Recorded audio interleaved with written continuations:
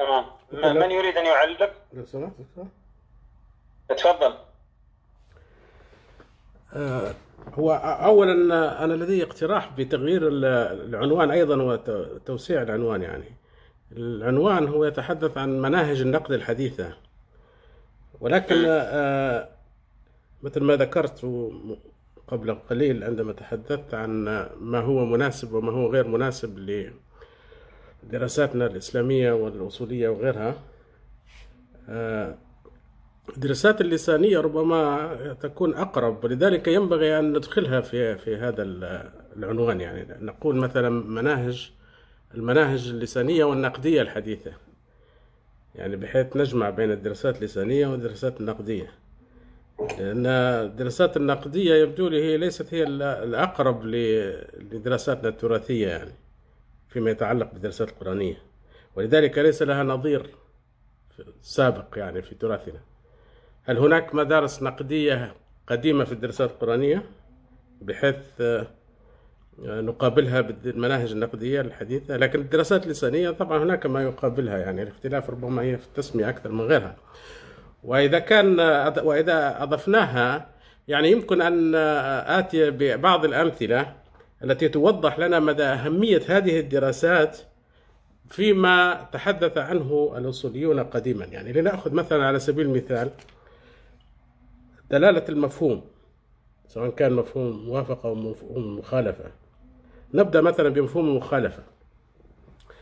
عندما يقال في الغنم السائمة زكاة طبعا يستنبط من هذا على الأقل على رأي الجمهور يعني بخلاف خلاف الحنفية.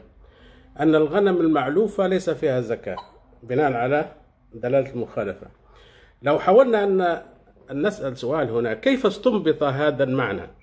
لأنه هو ليس معنى منطوقا يعني لم يقل في الكلام هو مسكوت عنه. لأن إذا كان هذا هذا الأثر سواء كان حديثا أو لا هو يتحدث عن الغنم السائمة فقط وسكت عن المعلوفة فكيف حكمنا على المعلوفة بأن ليس فيها زكاة؟ من أين جاء هذا الحكم؟ لو بحثنا في كتب الأصوليين القديمة ربما لا نجد إجابة. ولكن آه، جرايس تقدم لنا إجابة حقيقة وأنا من المهتمين به كثيرا يعني. جرايس عندما اقترح مبدأ يسمى مبدأ الكم اللي هو واحد من مبادئ التعاون. مبدأ الكم بمقتضاه أو أو يعني وفق وفق وفقا لهذا ال- ال- ال- المبدأ يعني نفترض أن المتكلم يتكلم على قدر الحاجة. فإذا كانت الحاجة للتعميم فهو يعمم وإذا كانت الحاجة إلى التخصيص فهو يخصص. فلما كانت الحديث هنا عن الغنم السائمة بإضافة الصفة بإضافة القيد فذلك يعني أن المتكلم تكلم على قدر الحاجة. هذا يعني أنه لا يقصد غير السائمة. يعني القيد هنا الذي أضافه المتكلم هو ناشئ عن نظرية الكم أو مبدأ الكم أن المتكلم يتكلم على قدر الحاجة. فهكذا ينبغي أن نتعامل مع المتكلم. فإذا أضاف قيدا في الكلام فذلك يعني أنه يريد أن يخرج به ما ليس ما لا ينطبق عليه هذا القيد. فبهذه الطريقة استطعنا أن نفهم سبب استنباط مفهوم المخالفة مثلا يعني هذا هذا واحد من الأمثلة. أيضا في دلالة التنبيه والإيماء مثلا دلالة التنبيه والإيماء أيضا قائمة إذا أردنا أن نضعها في سياقات الدراسات الحديثة قائمة على مبدأ المناسبة. عندما ننظر في كلام المتكلم فنبحث عن المناسبة وإن كان هو يشير إليها أيضا في الدراسات الأصولية ولكن لم يتحدث منها لم يتحدث عنها على أنها مبدأ من مبادئ الكلام وإنما أشير إليها في في التحليل وفي الكلام في ثنايا الكلام يعني.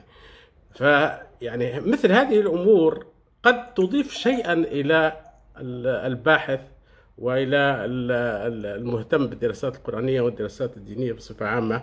و يعني يجد فيها ما ما ما يمكن أن يستعين به لفهم أدق ول سواء كان لاستنباط الحكم أو لتعليل عملية الاستنباط